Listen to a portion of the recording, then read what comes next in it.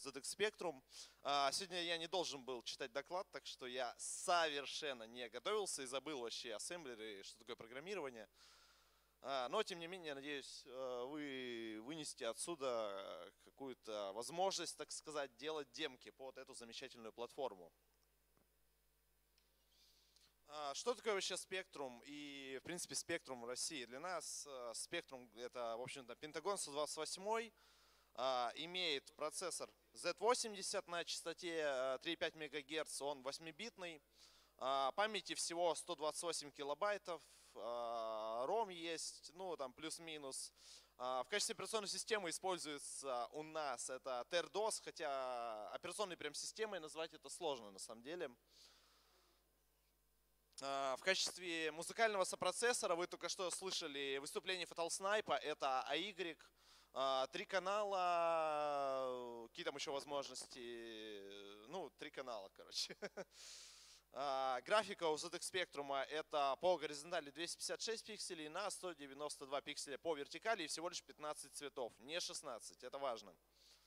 А у спектрума есть два черных, так сказать, черный и еще один черный, и они оба просто черные. Z80 это 8-битный CISC-процессор э, разработки 76 года, имеет всего лишь 158 инструкций. На самом деле этот процессор был создан бывшими а, разработчиками, которые создавали Intel 8080, ну и советский клон, например, K580, это именно вот этот процессор. А, они ушли из Intel и организовали Zilog и создали свой собственный процессор, который имеет совместимость, в принципе, довольно большую с Intel. А, всего этот процессор адресует 64 килобайта памяти. И тут уже вопрос возникает, как бы, каким образом у спектрума 128 килобайтов на самом деле. А, я не знаю уровень а, людей, которые здесь собрались, поэтому, наверное, супер подробно не буду останавливаться прям на памяти, как все это организовано у спектрума.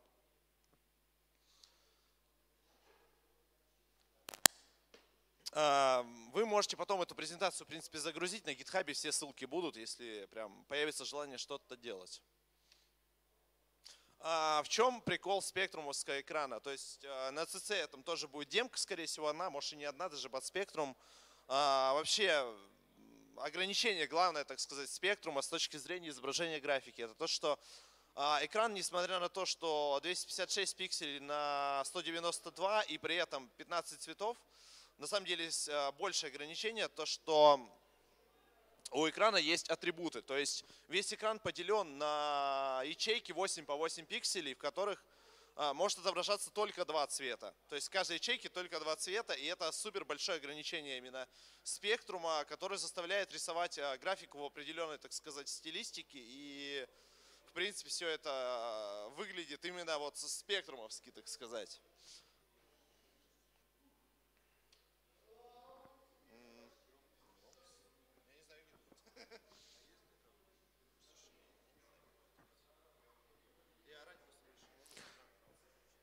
Да, надо как-то усилить звук, на самом деле.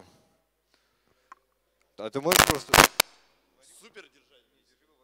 Ага, ага, ага. Я понял, я понял. Но это жестко.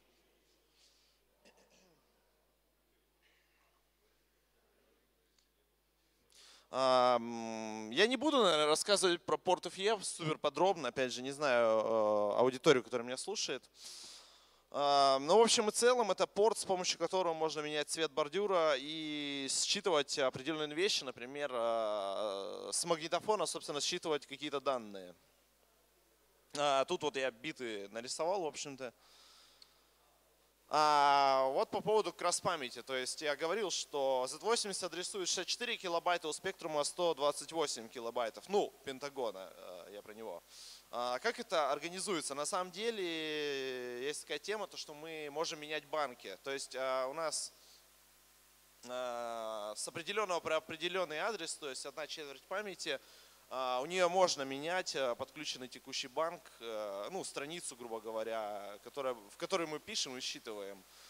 И записывая соответствующий порт, мы можем переключать эти банки, то есть и таким образом у нас 128 килобайт выходит. А, про Y, наверное, сейчас э, не буду говорить. Лучше у Фаталоса спросите, как он работает. А, что я вообще предлагаю всем? А, в качестве эмулятора лучше использовать Unreal Spec. В общем-то, он лучше всего эмулирует, конечно, Пентагон, то есть он что-то еще эмулирует, но это не так сильно важно. Эмулятор этот умеет отображать, в принципе, метки из исходных кодов, то есть файл э, userl, если мы подключим, мы нажмем Ctrl-L, то, в принципе, можем отобразить какие-то метки. А, давайте попробуем какой-нибудь э, экшон запустить, так сказать.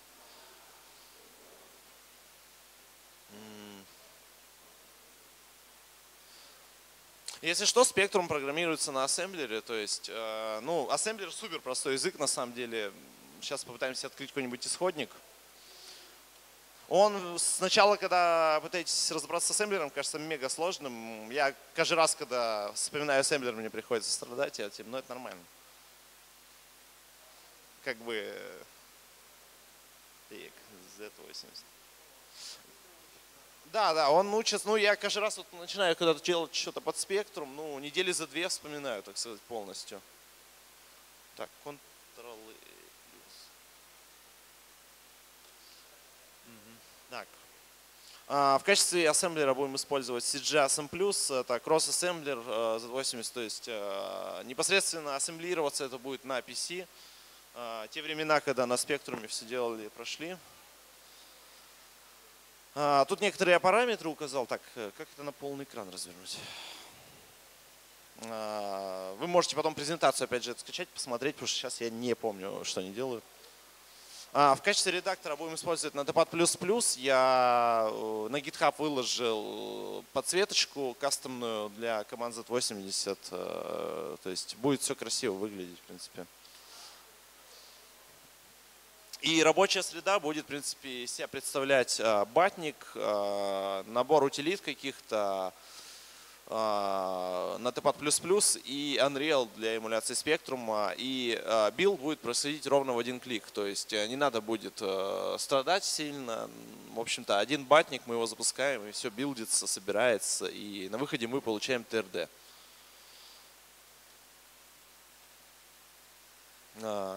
Так, читать это, не читать. У спектрума есть такая, ну, у эмуляторов спектрума, точнее даже скажу, есть э, SNA-файлы, это снапшоты так называемые, то есть состояние э, спектрума полностью сохраненное просто в одном файле. Ну, состояние спектрума это не что-то огромное, 128 килобайт, как бы это немного. А, и удобнее всего какие-то демки отлаживать и прочее, используя сна-файлы, то есть э, мы в эмулятор грузим сна-файл, и все уже просто работает. А, здесь я написал команды, которые необходимо выполнить, так сказать, а, вот в своей среде, которую я выложил, чтобы собрать сна-файл. Давайте пробуем его собрать.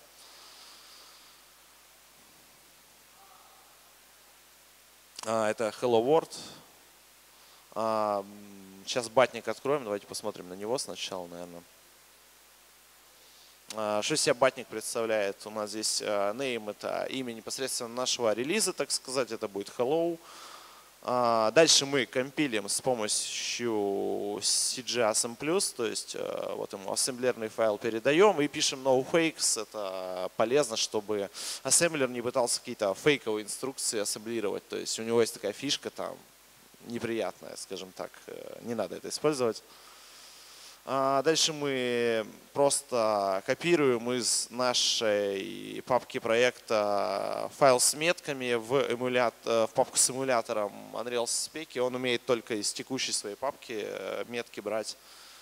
А это для отладки удобно. И удаляем непосредственно в папке. Ну а дальше просто запускаем непосредственно наш, так сказать, релиз.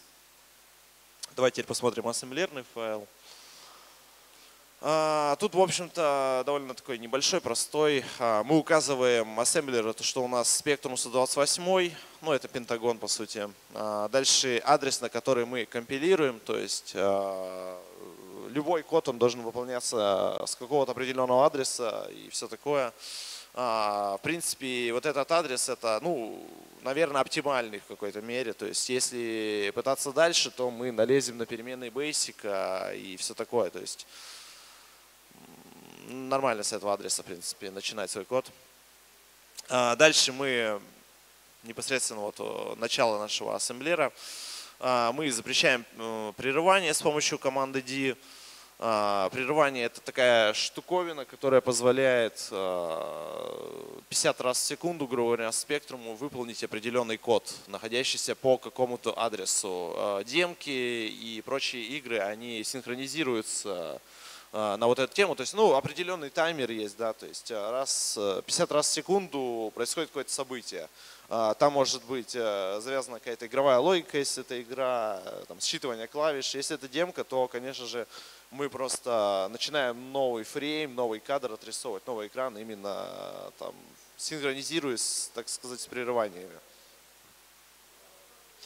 А, дальше мы должны установить дно стека обязательно. Вот опять же, тут, так сказать, все а, подбирается в зависимости от того, что вы делаете, но, в принципе, нормальные вот такие вот значения вполне подходят.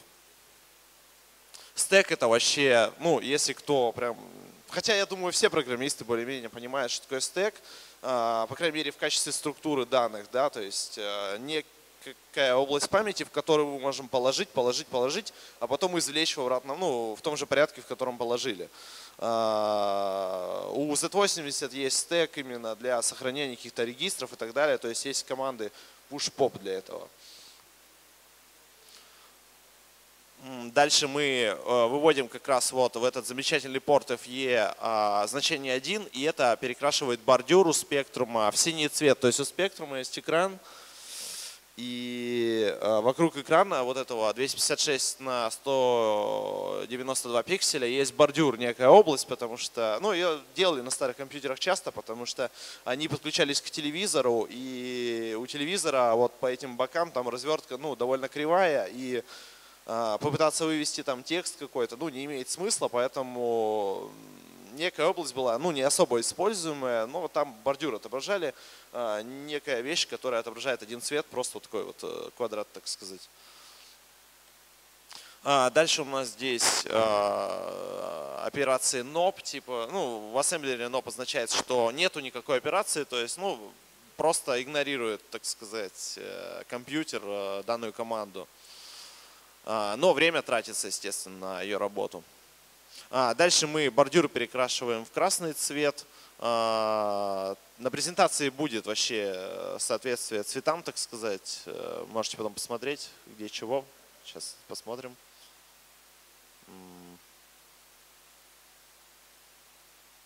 Вот соответствие цветам, как бы, что 0 это у нас черный, 1 там, ну и все такое.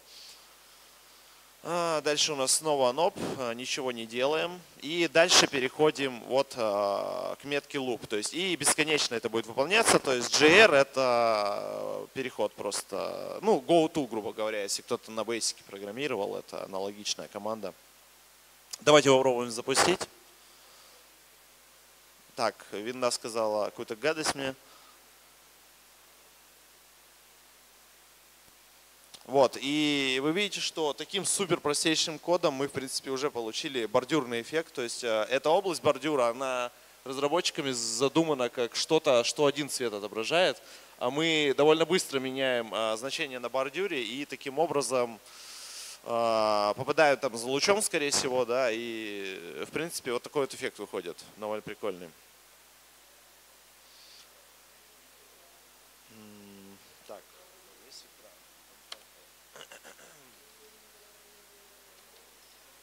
Сейчас, сейчас, сейчас. А, ну и вот простейший шаблон проекта привожу. Тут со сна файлом, по-моему. Ну, вы можете, опять же, все это скачать. Это все компилируется в один клик. А, у, теперь немного расскажу про сам Z80, что это за процессор еще побольше. А, Z80 имеет, выходит, ну, посмотрите на количество регистров, да, то есть регистров немного. У нас есть аккумулятор, а, регистр флагов, э, с которым мы прям непосредственно не можем взаимодействовать. А, есть регистровые пары BC, DE и HL. А, регистры в этих регистровых парах могут использоваться именно как один регистр, да, то есть BC, либо по отдельности, то есть регистр B и регистр C.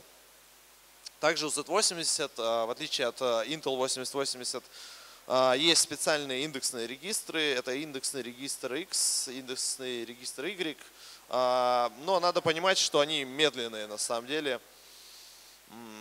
Довольно часто в демках их игнорируют, потому что они работают через префиксы, и это по времени ну, больше занимает часто, чем работать с обычными регистрами. А дальше есть э, регистр э, stack pointer, то есть ну, вот стек про то, что я говорил. А, регистр PC это, грубо говоря, текущая выполняемая команда, но это как бы внутренний регистр Z80, мы непосредственно с ним взаимодействовать не можем. А, также есть вектор прерывания I и регистр генерации памяти R, а, который, в принципе, для нашего применения особо не нужен, но его можно использовать как некий генератор случайных чисел. А, также у Z80 никогда не документировалось то, что половинки индексных регистров на самом деле доступны как отдельные регистры. То есть вот я внизу здесь подписал. А, это, так сказать, недокументируемая была возможность. Но по сути мы можем использовать а, половинки 16-битных индексных регистров как 8-битные регистры. А, вот тут я немного э, привел, так сказать, супер э, простых команд, э, чтобы понять ассемблер более-менее. То есть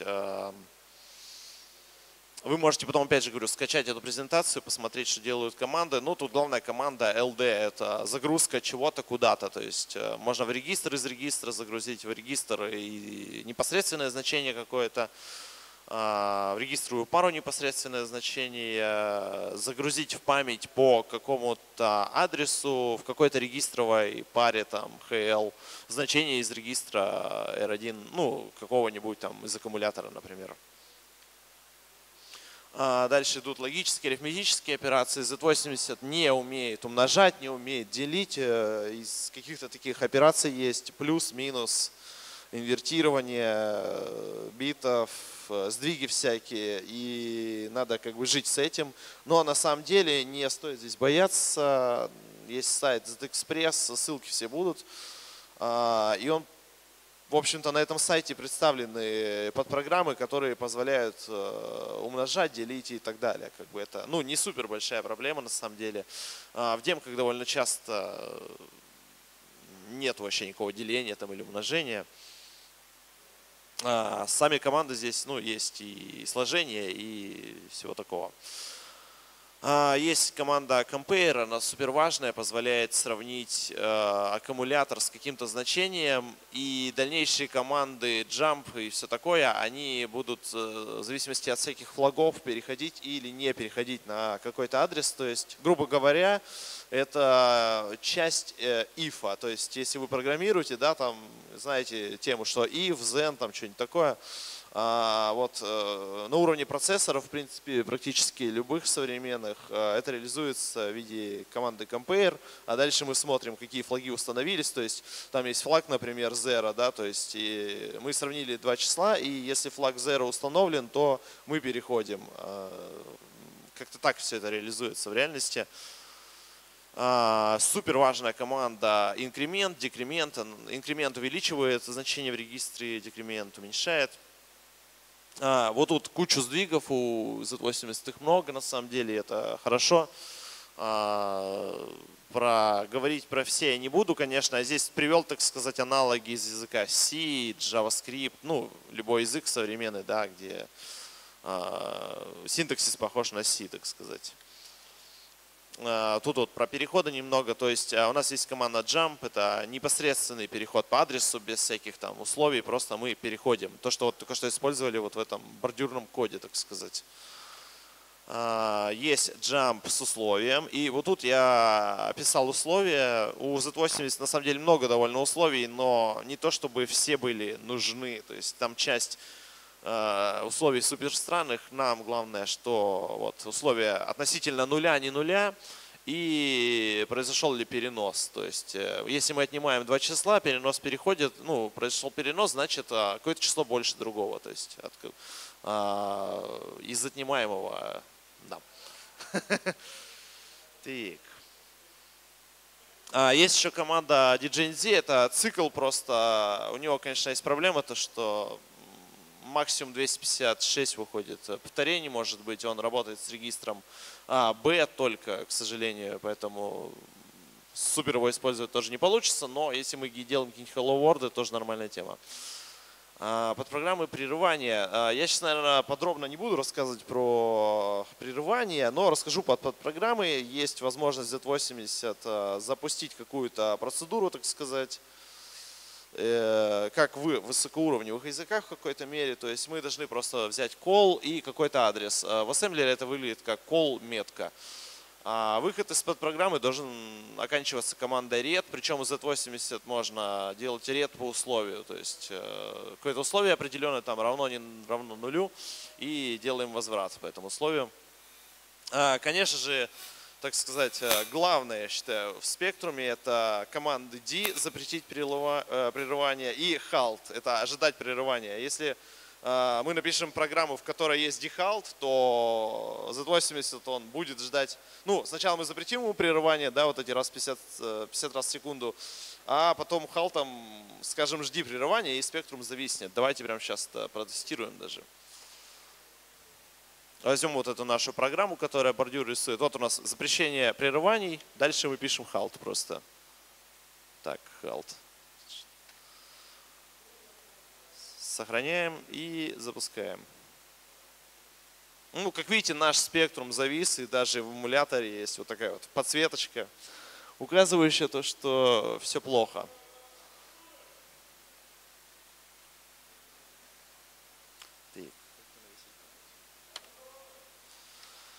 А, порты ввода-вывода есть, про них, наверное, подробно тоже не буду рассказывать сильно, но, в общем-то, в презентации будут э, указаны основные порты и что с ними делать. Ну, их по сути два. Э, никогда не используйте сокращенный, так сказать, порт FD, используйте вот этот вот замечательный второй, который 16-битный, так сказать, потому что на некоторых клонах, если использовать сокращенный, то все будет сбрасываться, глючить и все такое. А, ну, про создание релиза я немного рассказал. Давайте расскажу, что такое вообще ТРД, дискета на спектруме. Да? Изначально спектрум это компьютер, к которому подключается магнитофон, и мы с магнитофона просто считываем. Но если кто слышал, как работают модемы старые, вот эти все истории, как бы, ну, возможно, кто слышал вообще, как спектрум работает – то есть э, на магнитофон просто записывается какой-то тон, там меняется определенным образом, спектрум это считывает в реальном времени, как бы пока магнитофон крутит, и мы записываем байтики. Но в России был распространен довольно-таки сильно TRDOS, э, бета-диск интерфейс, так сказать. И это очень хорошо, потому что, по сути, это обыкновенные дискеты. То есть вы можете посмотреть на вот эту фотографию, это вот как раз контролер. А, для спектрума. Тут одной микросхемы не хватает в панельке, это ПЗУшка, видимо. Позволяет использовать обыкновенные дискеты. В принципе, я вот этим летом запускал ATM2 Turbo да, с обычными трехдюймовыми дискетами. Ну, три, в принципе, все окей. Но вообще классика это, конечно, 5-дюймовые дискеты. А, объем у дискет таких 640 килобайт выходит. Самое забавное, что а, бета-диск интерфейс совершенно не был распространен у себя на родине в Англии, а вот в России, потому что у нас клонировали микросхему, которая частью является, так сказать, бета-диск интерфейса, у нас он был супер распространен. Эм, вот интерфейс, так сказать, TRDOS. А, давайте даже его запустим в эмуляторе. Покажу вам, что такое TRDOS.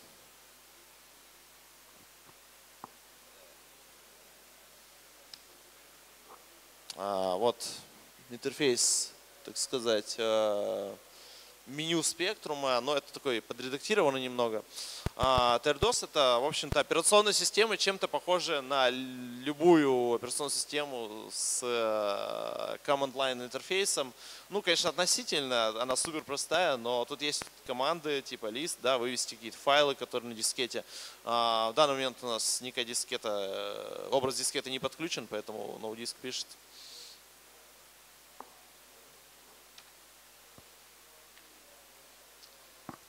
Из утилит еще есть утилита Best to Tap, она позволяет э, basic файл, то есть на спектруме там, если мы хотим сделать красивый релиз, да, с автозапуском, надо загрузчик будет написать какой-то, который из basic будет а, грузить наш машинный код. И есть замечательная утилита, которая позволяет из какого-то текстового файла, который похож на Spectrum Basic, так сказать, э, превратить все это в tab файл, э, файл магнитофона ленты спектрума. А дальше tab файл мы преобразуем просто в хоббита формат. Это файл как раз TRDOS. И с помощью TRD Tool собираем весь релиз, то есть э, добавляем файлики. Из, ну, это все из батника происходит и супер удобно, в общем-то. Примеры будут э, в репозитории. Так, а в качестве редактора графики я рекомендую использовать Green Pixel. Э, ну, это, в общем-то, сейчас я его, так сказать, поддерживаю. Супер удобная утилита, позволяющая нарисовать какие-то вещи определенные. Э, удобно, то есть э, есть разные режимы, модификации, там есть возможность полутона рисовать с помощью дезертинга. Нормальная штука. Для конвертирования графики тоже вот самописную утилиту рекомендую использовать.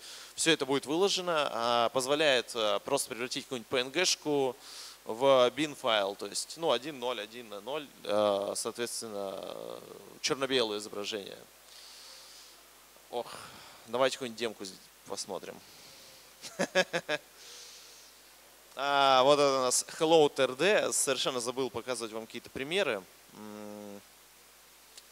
Опять же, сейчас я забыл ассемблер, поэтому не скажу много, но все это доступно на гитхабе. На самом деле все очень просто, скачивайте. Там я все прокомментировал, как вы видите. Да? Я сейчас свои комменты читаю, пытаюсь понять, что здесь. А, все супер прокомментировано и очень легко будет войти в разработку под спектром, я считаю. Потому что у меня не было в свое время таких мануалов. Э,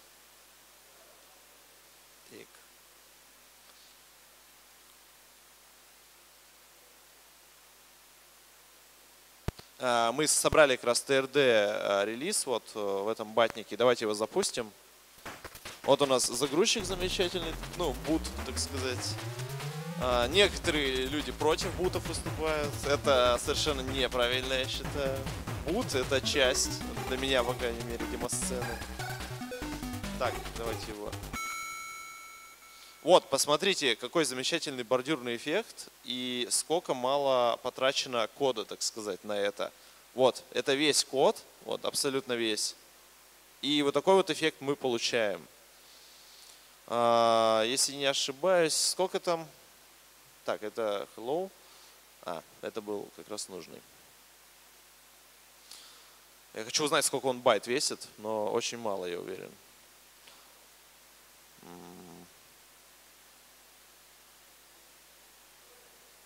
Смотрите, вот этот весь код, который рисует такой бордюр, да, он весит всего лишь 24 байта. Понимаете, это просто 24 символа э, в мессенджере.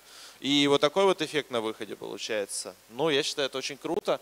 И код очень простой, понятный. Э, все, кто хочет попробовать, попробуйте сделать что-то. Можете прямо сейчас на Pattyplace сделать э, на Winter так сказать, invitation какой-нибудь. А, я не рассказал про нелинейную структуру экрана у спектрума. Спектрум, в общем-то, ну, интересная платформа, на ней надо страдать.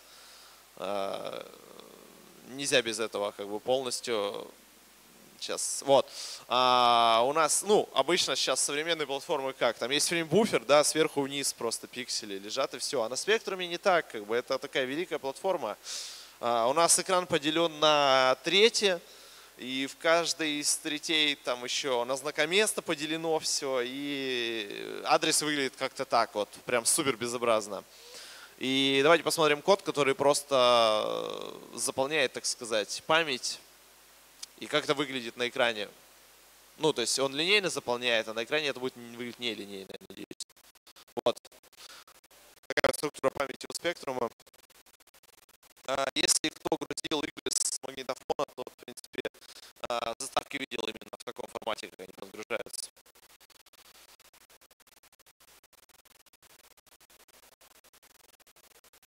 А, здесь небольшой код, который рисует а, просто пиксель. То есть я сказал, что память у нас не линейная, нарисовать пиксель на самом деле супер сложно.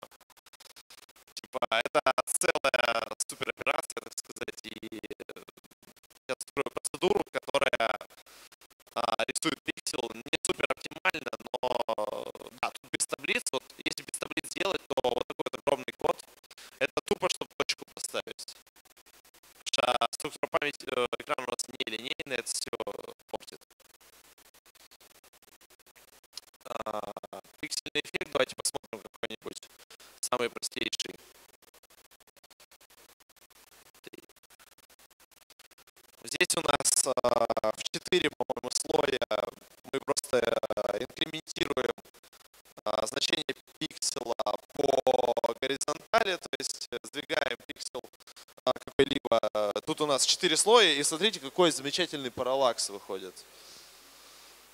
И все это весит всего лишь э, 249 байт.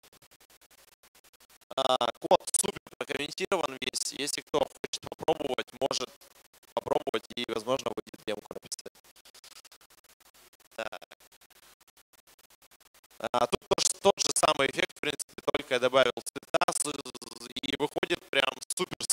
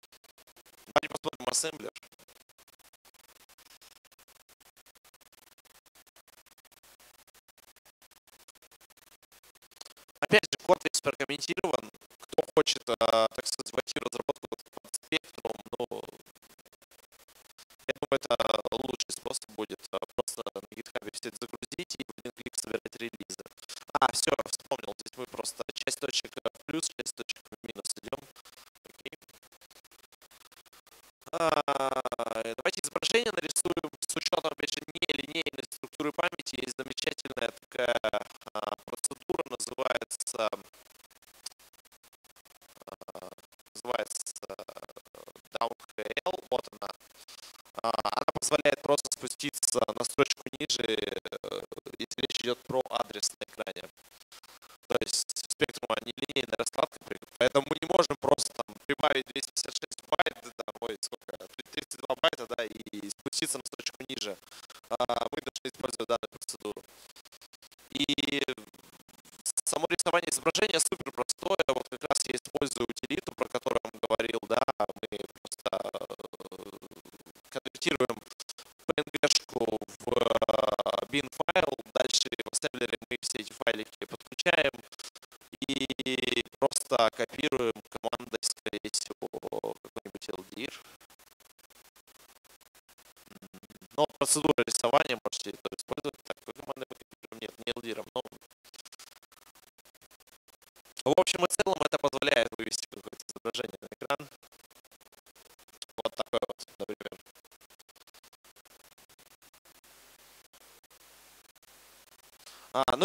последнее, все-таки доклад изначально был, что там про какие-то эффекты и то, как э, все это делать.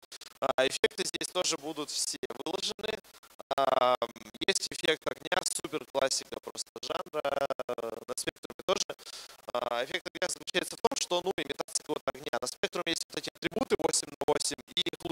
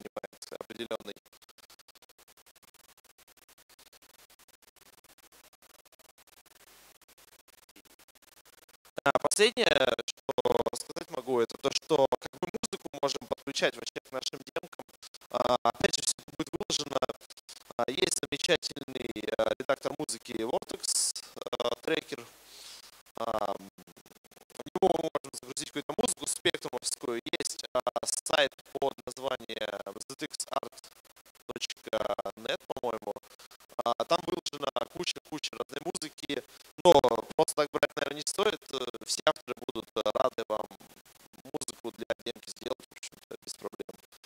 А, у него мы загружаем какую-то музыку, давайте посмотрим. Ну, звук не слышен, к сожалению, почему-то, но тут музыка играет определенно. Не-не, нормально заиграла. Не-не, все, все нормально. А, вот у нас а, некий модуль, да, мы хотим его присоединить к нашей демке. Мы находим файл, здесь есть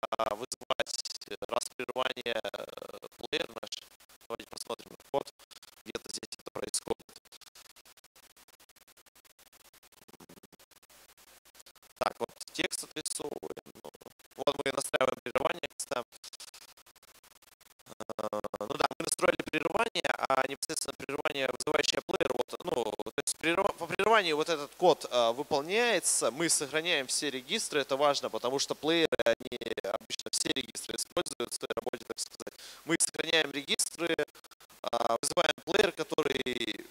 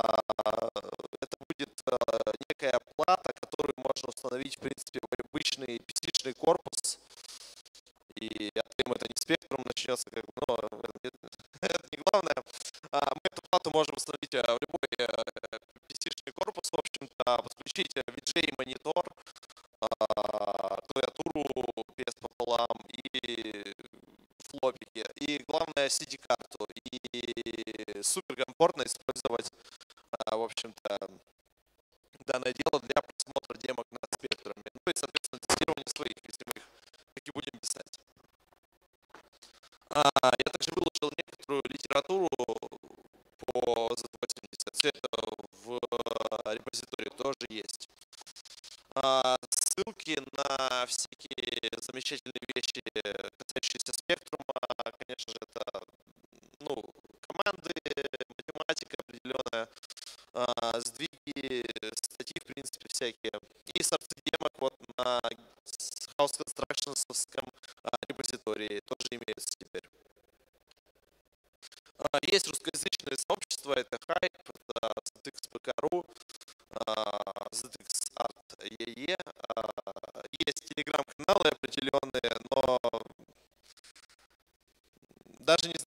что про телеграм-каналы сказать, они иногда токсичны к новичкам, мне кажется.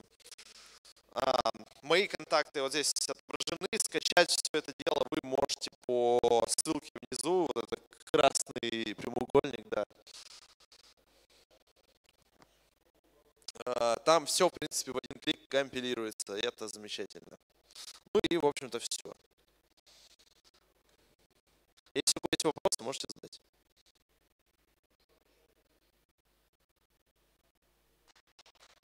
Вопросы, вопросы.